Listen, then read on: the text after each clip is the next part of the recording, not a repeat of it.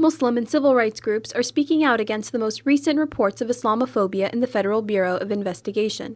In a press conference outside FBI headquarters in Washington, D.C., speakers laid out their grievances. We were dismayed by the latest revelation of FBI trainings that, um, uh, that are based on Islamophobia, stereotypes, profiling, um, and ignorance. Um, it's just the latest in revelations of FBI's uh, training and investigative practices that target people based on their religion or their political beliefs. Most recently, reports have found the FBI hiring agents for its counterterrorism training program who had a history of making Islamophobic comments.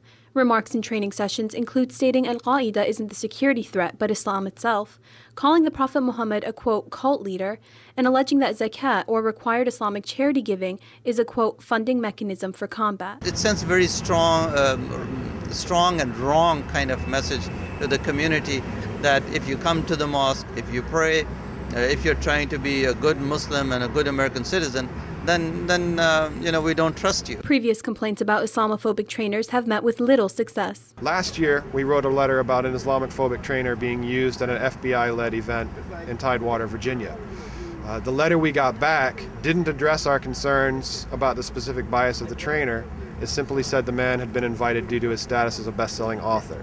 So, unfortunately, it was nowhere near a satisfactory response to our concerns. Speakers are demanding a congressional investigation into prejudicial elements within the FBI as well as other abuses. There really needs to be a thorough investigation to uncover all the abuses we don't know about. You know, I'm just talking about the few that burst through the secrecy. But there is obviously a, a, litany of problems at the Bureau of Investigation, and I do hope that Congress does something about it. Last week, the Council on American Islamic Relations sent a letter to FBI Director Robert Mueller addressing its concerns, but has yet to receive a response. Since 9 11, Islamophobia in law enforcement has become a growing trend, particularly in the past few years, leading to fears that it will, in time, become an institutionalized norm. Marjan Asi, Press TV, Washington.